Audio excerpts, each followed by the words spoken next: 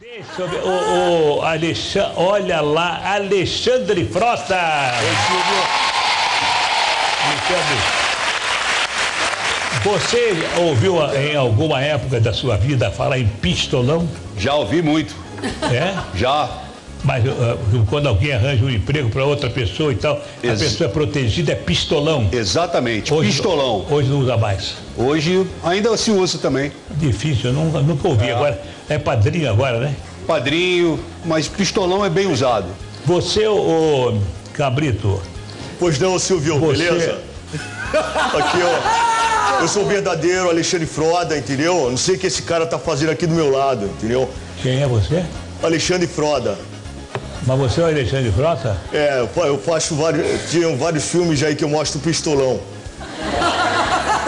Eu, fi- eu eu fi- eu fiz vários filmes, Silvio. Eu fiz aí o Duro de Baixar 4. Fiz aí Jorrada das Estrelas. é, o Engate do Soldado Ryan.